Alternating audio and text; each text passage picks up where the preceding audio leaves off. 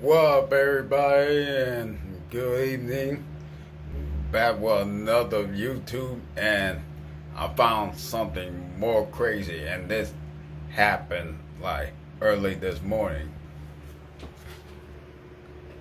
As y'all can see, this is what I found a tree frog up in my bedroom, and he was just sitting on my trash can.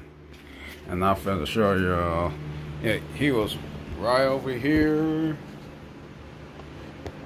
Right on this edge here, and I didn't even know that he was there until I turned to my left and like, oh my god. What are the chances?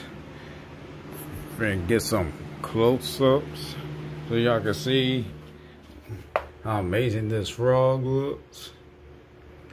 As y'all can see right there, He's like a gray camouflage color. And I always gave him a name. I call him Kermit. Cause he kind of remind me of Kermit the Frog.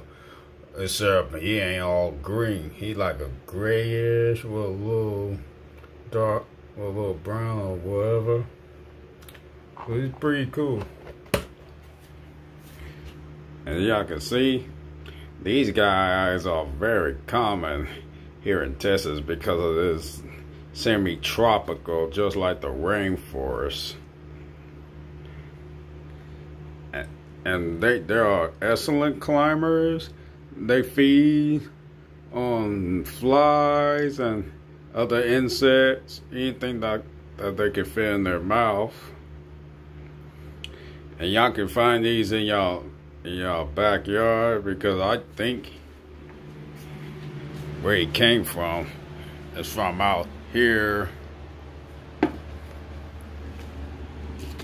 Came from out there in the in the hedges right in front of my house. And I promise I'm gonna release them when it gets dark because that's where they're most active. And they're pretty cool. So stay tuned for another video and I promise that the next one we'll try see if we can find something even more amazing. So don't forget to look at my channel YS Wild Expeditions. Leave a like and a comment and we'll see y'all next time.